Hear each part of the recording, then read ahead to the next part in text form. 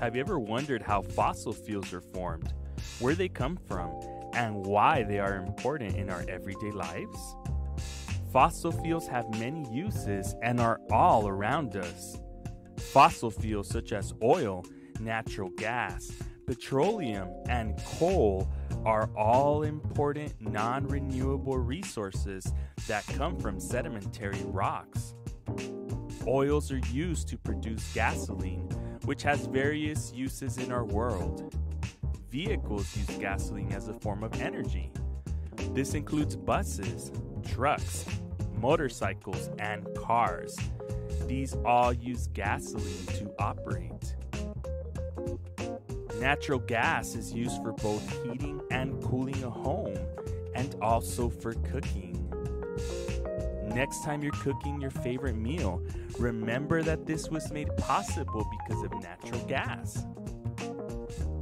Coal is inexpensive and is used around the world to help produce electricity.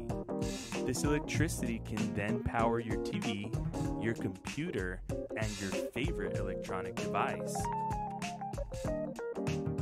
So, how are fossil fuels formed and where did they come from?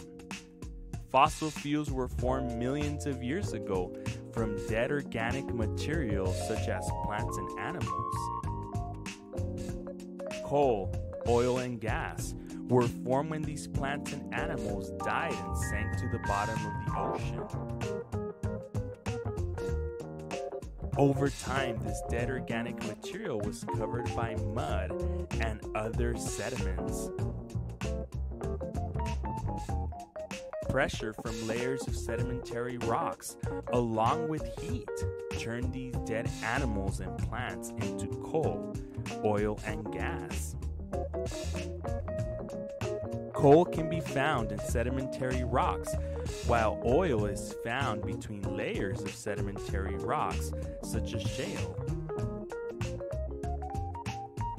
Natural gas usually is found in the form of pockets above deposits of oil. Over 80% of all the energy consumed in the United States comes from natural gas, coal, and oil. Can you think of three examples of how fossil fuels are used in your everyday life? Can you also think of how different life would be without fossil fuels?